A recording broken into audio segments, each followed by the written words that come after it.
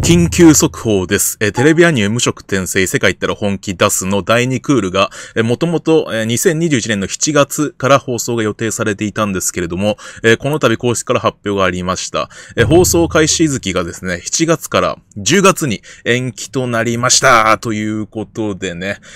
まさかの夏アニメから秋アニメへと、ワンクールですね、延期となりましたということですね。まあもともと、7月から予定されていたと言われていたんですけれども、やっぱりね、7月から予定されていましたが、まあ、あのですね、まあ、諸事情があって、どうやら、えー延期となったらしいです。で、これに合わせまして、7月からは、えー第1クールの方がまた再放送となるようでございます。はい、ということでね、それに合わせましてね、今画面に出ているように、新ビジュアルも公開となりました。まあ、7月からね、放送されるだろうと思ってね、首を長くして待っていたんですけれども、まあ、こっからまたワンクール待つのかと、うんいくらでも待ちます。僕はいくらでも待ちますよ。多分ね、ワン、ワンクールね、伸ばしてくれたから、もうね、これ以上のクオリティになっちゃうんじゃないかで、も怖いですけれどもね。もともと7月から放送される夏アニメはね、もうラノベアニメも大量のクールだったので、まあ、まあの、無職がなくなった、あの、10月に移動したことによって、まあ今まででね、一番多いってことはなくなりました。もしね、無職がこのまま7月放送だったとしたら、